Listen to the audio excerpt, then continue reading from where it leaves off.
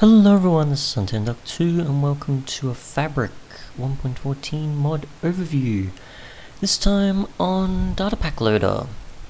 A simple mod that once you put it in your mods folder, which I've been testing a bunch of, which I've got it right there, pretty much after you put it in there, I created a data packs folder myself because I didn't see it create one for me. And then from there you just put a data pack in there and just to prove that I don't actually have one in this world, nothing. There's, there's no data packs in this world, not even the prior ones, or even show those. Nothing. And obviously there's no hidden folders, no nothing.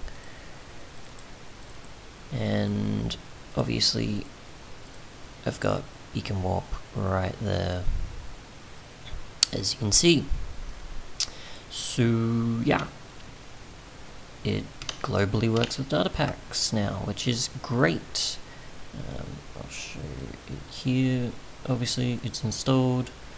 Mod mod menu shows it. It's clearly there.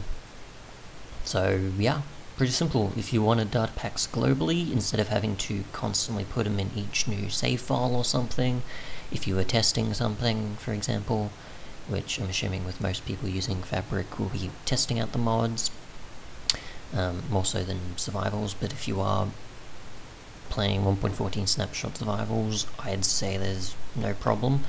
Um, definitely using this alongside a bunch of mods with Fabric isn't too bad. Um, but yeah, it just works. I thought I'd have to put a bit of effort to work it, but uh, it seems like it just works. So if you want data packs with your mods, but you want them your data packs globally instead of in every single save file, um, then yeah, now you can.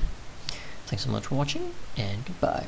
If you'd like a fabric tutorial, I'm not sure if I'll have this video out before I've uploaded that tutorial, but if not, I'd reckon I'd probably put up some tutorials and then on the end screens, or with a card, or um, probably a link in that to the 1.14 fabric discussion section thread, um, and tutorials will be on there.